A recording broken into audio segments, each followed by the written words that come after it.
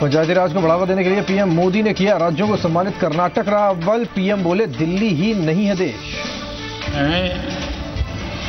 इस भ्रम में से बाहर आना चाहिए।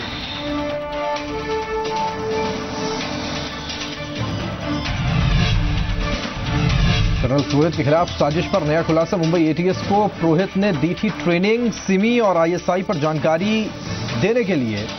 नासिक पुलिस ने की थी तारीफ़ कुछ भी नहीं करा है इसमें, कुछ भी फ़ाइल नहीं करा है कोर्ट में। विजय माल्या का पासपोर्ट रद्द, ईडी के सबूतों के आधार पर कार्रवाई, किसी भी नोटिस का नहीं दिया जवाब।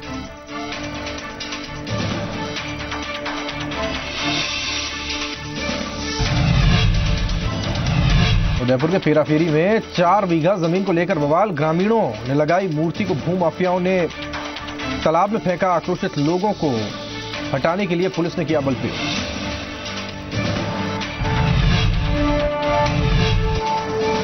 में सिंगरासर माइनर को बनवाने की मांग को लेकर तिरपन गाँव के किसानों ने की महापंचायत प्रदर्शन की आशंका को देखते हुए पूरे इलाके में लगाई गई धारा 144 थर्मल। सभी गेटों पर भारी संख्या में पुलिस बल तैनात।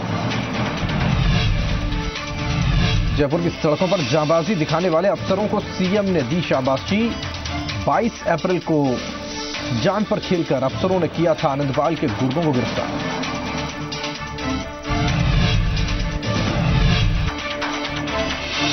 सांसद कर्नल सोनाराम को थप्पड़ मारने का मामला, तीनों आरोपियों को जाट समाज ने माना, समाज का दोषी खुद को निर्दोष साबित करने तक सभी का किया गया सामाजिक बहिष्कार।